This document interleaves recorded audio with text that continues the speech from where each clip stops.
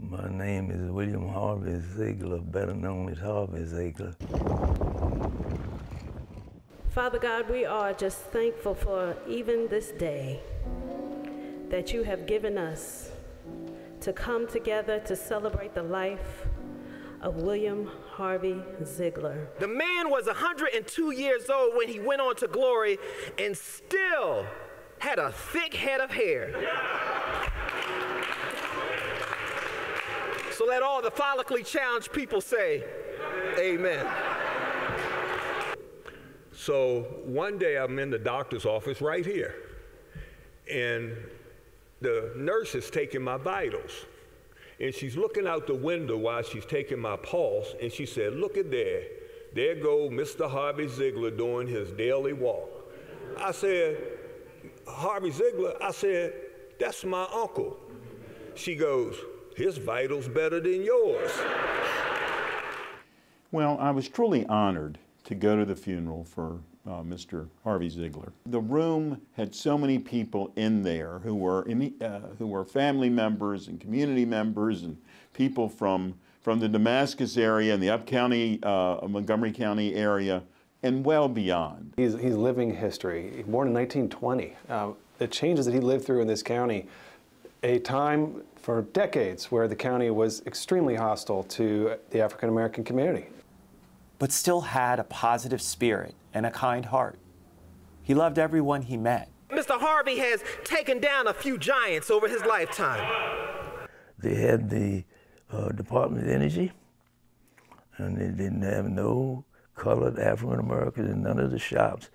So I just made a complaint with the, the EEO, Equal Employment Opportunity, and eventually they said, well, that was wrong, we're going to correct it.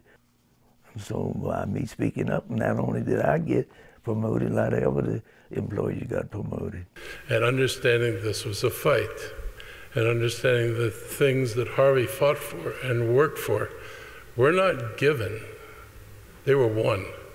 If you didn't look out for yourselves, well, by being an ethnic group, you know, you wouldn't get anything done. So we had to bind together, teamwork and harmony and faith. That's the only thing that kept us going.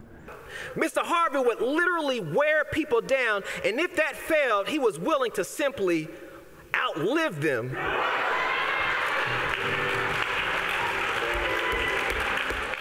Uh, from his early work as a civil rights activist, uh, as a supporter of every social movement we've had here, but a ardent, ardent uh, supporter of this county. See, Mr. Harvey knew it was not always about how well you could fight. But are you willing to take a beating for a greater purpose? And in his very own words, he would say how he was willing to get his butt kicked and still come back for more. When someone, especially in the Up County area, would, would run into a, a situation, they would go see Mr. Harvey and, and he would he would help them and figure out how to how to calm things down. When we were just last year in the throes of the pandemic, stepped up at over 100 years old to be one of the first to get a vaccine in our Eastern County clinic. Look, look at these guns, man. and worked with us to try to get at the hesitancy and some of the issues for access to vaccines that we've seen in the African American community.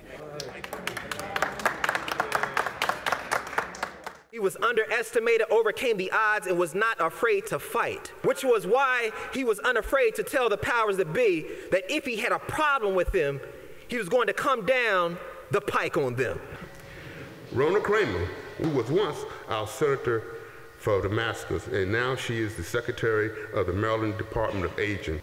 Her notification reads as this I want you all to know that many of us are committed to carry on Harvey's work to better the lives of those around us and to be kind to someone this day. That was Harvey's vision. That was Harvey's dream. And it's up to each of us to make sure that we continue that legacy for him. Now, oftentimes the public officials like to take the attention. But looking at our community, and Montgomery County comparatively is one of the best places in America to live. But didn't happen because of the elected officials in Rockville, or those in Annapolis, or those in Washington. it happened because of people like Harvey.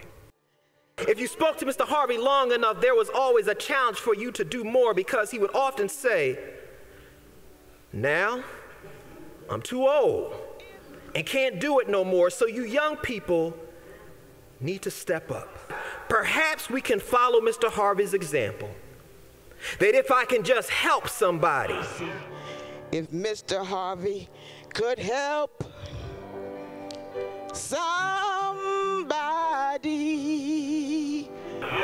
As I travel along, as I travel on, if I can help somebody in a word or song, with a song, if I can help somebody from doing wrong, he's traveling wrong. My living, his living shall not be in vain. Has not, it's not in vain. Amen.